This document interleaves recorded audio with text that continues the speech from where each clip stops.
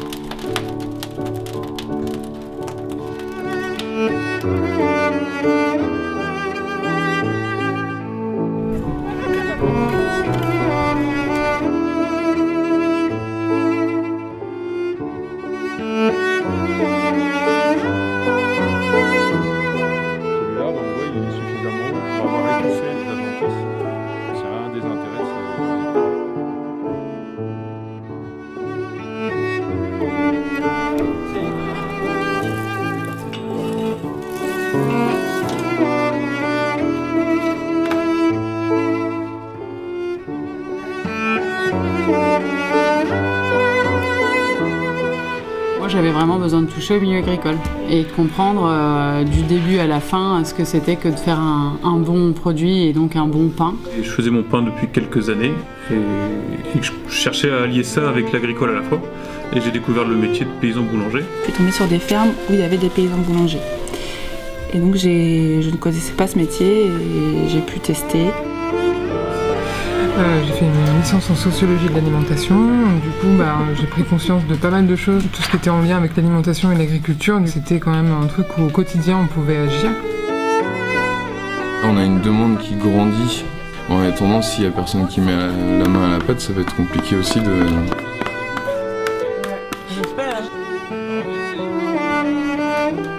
Faut pas euh, non plus imaginer qu'on sort paysan en un an, quoi, clairement c'est sûr, mais par contre euh, je trouve que toutes les bases sont là.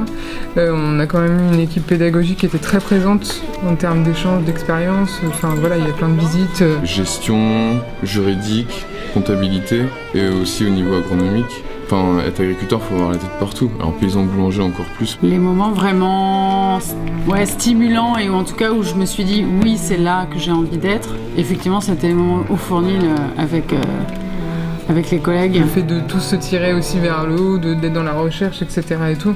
Je pensais pas justement que ça m'intéresserait autant et que c'était euh, aussi euh, c'était un univers aussi complexe et diversifié, donc euh, j'ai beaucoup aimé.